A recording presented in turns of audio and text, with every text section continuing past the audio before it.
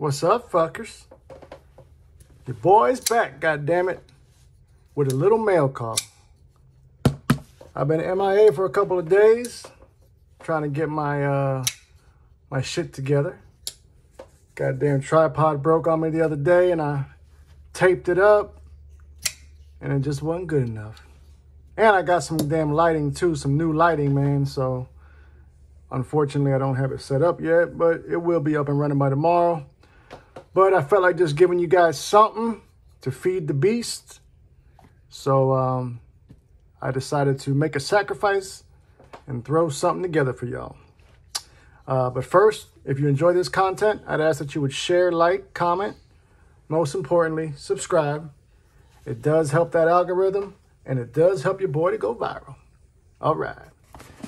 Okay, what I got tonight is a um, package from DLT Trading. Stand by because I got more shit coming from them later this week, probably next week. This was just a uh, impulse buy that I saw the other day. Never had this before, so fuck it. All right, the knife that I'm using tonight to uh, open up this box is the Miguron Pelora. True story, I've never fucking carried this, bro. I bought it, took a pictures for the freaks on Instagram, and it's been sitting on my desk since then. So maybe it'll be a giveaway knife at one point. But for now, it's going to be the unboxing knife. It's sharp as a fuck. 14C28N, so ain't nothing wrong with it. Just got a beefy handle, man. I'm just really not about that. Very blocky. I don't even know why I bought it. I Actually, I do know why I bought it, because it's Miguron. I've gotten a couple knives from them, and every one of them has always been good, so I gave it a shot. All right, let's see what we got up in here.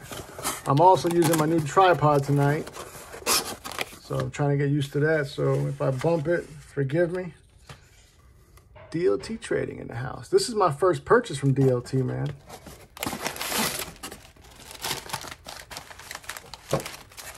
But I ended up buying another goddamn knife this week from them. So now they got my business two times in one week. Let's see what we got. Oh, yeah. I've been on this cold steel vibe lately. I uh, had never handled a cold steel knife, never seen one in person until I um, ended up picking up Big Business. Y'all know who Big Business is, don't you? But ever since I picked up Big Business, I've just been feeling the cold steel, man.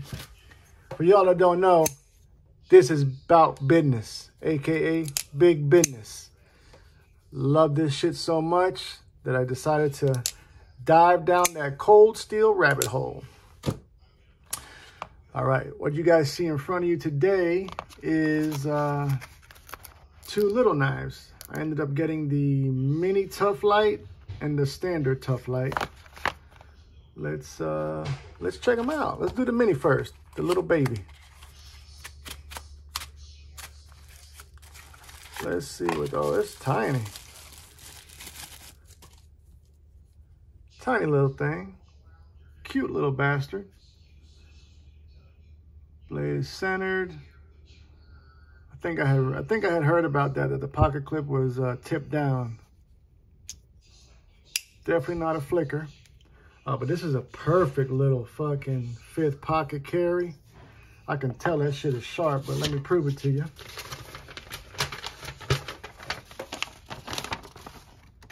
Oh, wait. Ah, there we go.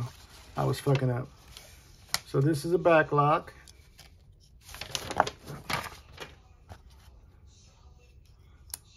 It is brand new, so it might break in a little bit, but pivot might be a little too tight. We'll have to play with it. But that's the Mini. Really don't know why I bought the Mini. I would have been fine just with this one. I did ask them to uh, QC the knives, and it appears that they did. That's a good thing, man. You can tell when they actually do it because if they're sealed boxes and they come here sealed, then you know they fucked up. Okay, this is more my jam.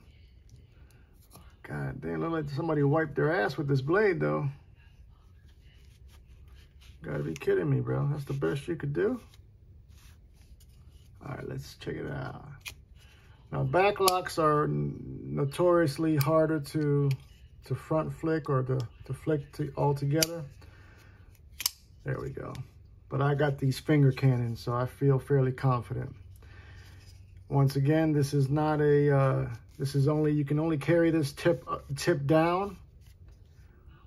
What is the steel on this? Man, that looks like shit the way they sent that. I just can't believe that they would send that like that. I mean, it's not a big deal, but it's just presentation, people. All about the presentation. AUS 8, Taiwan. I've gotten a couple of knives from Taiwan, and I've always been happy with it. Every knife I've gotten from them. Ooh, that could get your ass something serious right there. But it does flick out.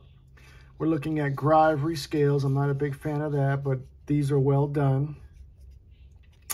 We have a nice uh, Wharncliffe blade. I guarantee you this girl is sharp too. So let's prove it to you. Oh yeah, that one seems a little bit sharper than the other one. What y'all think? I'm sure you guys may have seen this at some point. Uh, I'm sure on some videos. These are not new knives as far as release-wise, but man, I'm digging that. That's going to get some good pocket time let me, um, let's put up a couple of other knives quickly. Get you guys out of here. Oh, there we go. Flick that one too. You can see side by side. Let me back this up a little bit. See if this is a little bit better. That might be a little better. There we go. Uh, you can see side by side what, what we're looking like. Let's put up the uh, Civivi Ki-V Plus. So the Ki-V Plus is looking like that. As far as when we put them against both, you can see the Ki-V Plus is quite a bit bigger than the uh, Mini Tuff Lite. About right on par with the Tuff Lite. You guys might not be familiar with that. Let me put something else. How about, I know you gotta be familiar with the Manix 2. So you can see these are small knives. There, there ain't no uh, no doubt about it. But hopefully that gives you more of an idea. Uh, let's put up another one for good measure. Let's put up the 395, baby. So, uh, yeah, these are small knives, man. Fifth pocket knife. I've been on some small knife shit lately.